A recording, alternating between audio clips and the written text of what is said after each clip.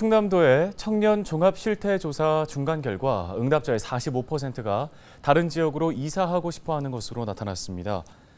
이주를 하고 싶어 하는 이유로는 주거 환경 인프라 부족이 46%로 가장 많았고 일자리 부족이 15%로 그 뒤를 이었습니다. 주거 환경 만족도는 4점 만점에 2.67점으로 가장 필요한 주거 정책은 주택 구입 자금 대출인 것으로 파악됐습니다. 충남도는 실태조사 최종 결과가 나오면 청년 정책 발굴 전담팀을 운영해 개선 과제를 찾을 방침입니다.